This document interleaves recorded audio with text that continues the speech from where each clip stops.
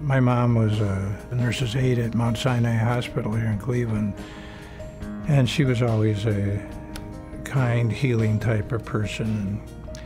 She always used to take care of me when I came back from practice, uh, sports practice, and so forth. And that's how I got into the osteopathic profession of family practice, and uh, that's all she wrote.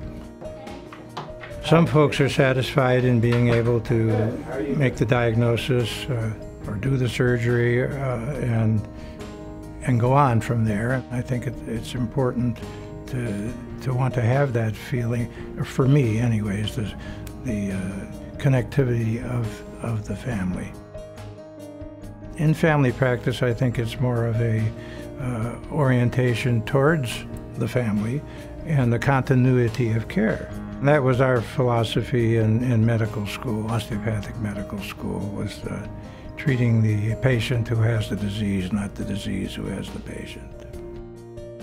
Most of the days are good, you know. And you think of the good things and you hope that you don't have any bad outcomes. As long as I can feel good about what I'm doing, I, I will continue doing it, you know.